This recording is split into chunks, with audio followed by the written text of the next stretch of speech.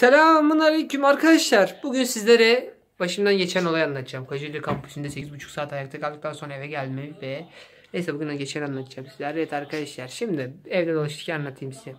Bu ben arkadaşlar Kocaeli kampüsüne sınava gittim. Açıktan okuyorum. Bil- Belki bilmiyorsunuzdur.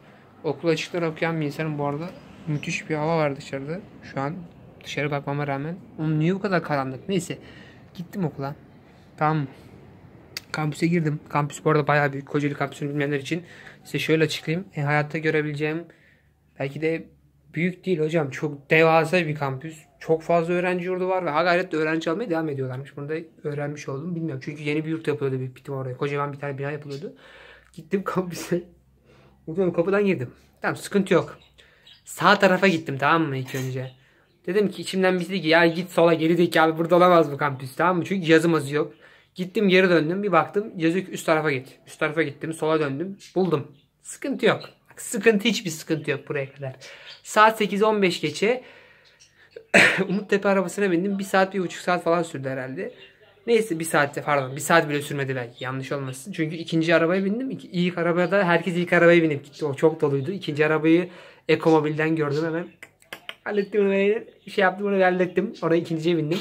Sonra gittik kampüse falan işte kaç bir yaklaşık 40 dakika falan sırtta bekleyeceğim. Otobüse bindim ya. Size anlatayım. Kampüse girdim olayı anlatayım. Aslında ge- gerisini anlatayım. Otobüse bindim. Boştu otobüs. Gittim. Ters koltuklar olur ya arkadaşlar. Ona oturdum. Otobüs önümde bir tane kız var. Yanında da annesi var herhalde. Sola şöyle şu, şöyle şu şekil dönük oturdum. Hayat boyunca otobüste bu kadar midem bulandığını hatırlamıyorum. Bir indim. Sonra gittik şey. Aynen böyleydim bu arada. Çok kötüydü Allah. Kimse göstermesin. Sonra gittik sınava girdik. Sınavda arkadaşlar bitti. Saat ona 10.30. Ben eve gidip gelsem. Bak şöyle düşün. Eve gideceğim. Umuttepe'den. Bir saat. Geri geleceğim bir saat. 3 saatim var zaten. Bir saatlik kalıyor. Dedim boş boşuna gitmeyeyim. 3 saat var. Boş zaman. Dedim gezeyim. Bu kampüsü ne kadar büyük olabilir ki? Sonra baktım bir manzara vardı. O çim saha olimpiyat gibi bir yer var. Oraya bakıyorum böyle. Dedim Allah'ım Müthiş. Bayıldım. Çok güzel gözüküyor. Geziyorum kampüsü. Beni gören var mı bilmiyorum. Abi görmüş olan varsa da ona burada selam olsun. Çünkü deli manyak gibi geziyordum etrafta. İlk önce sol taraftan başladım. Böyle şelmel vardı aşağı falan bakıyordum. Oradan şöyle bir kaptırdım. Şöyle bir gittim oradan. Oradan bir gittim hocam. Oraya doğru gittim. Gezdim oralarda böyle bir çevirdim. Dal, dolandım orada. Mühendislik fakültesi A, B, C, C, D, F, G. Yok F'yi görmedim. E'ye kadar gördüm. F ile G içer taraftaydı. Meydanı gördüm. Cumhuriyet Meydanı diye beraber oraya girdim. Orada normalde okul hep şey olur arkadaşlar. Sanırım yasak falan var. Kimse yok diyecektim.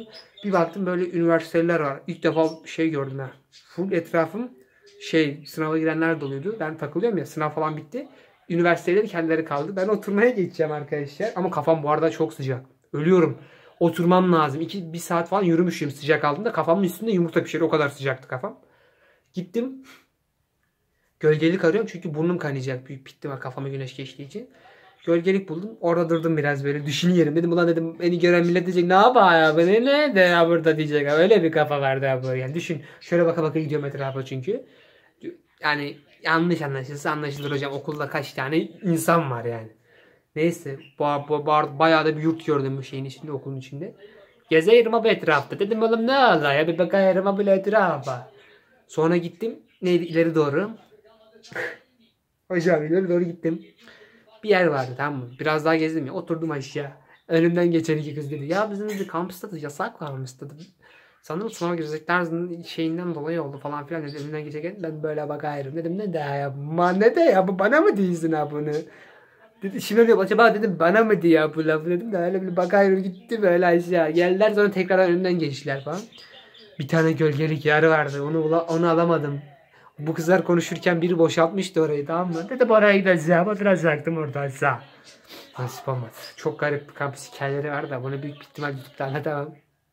Çünkü olaylar yani öyle çok büyük bir olay yaşamadım zaten. Köpek zaten fazlasıyla fazlasıyla köpek var. Hepsini de besliyorlar. Ellerine sağlık besleyenlerin. Hepsi de şey bir arabaları sadece havlıyorlar. Çok güzel bir anıydı ama yani daha fazlasını anlatabilirdim ama anlatmak istemiyorum onları. Çünkü yani aklıma gelenlerin hepsini anlatmam için böyle yani de ki bana 30 dakikalık olay ben onu size bir buçuk saat anlatırım.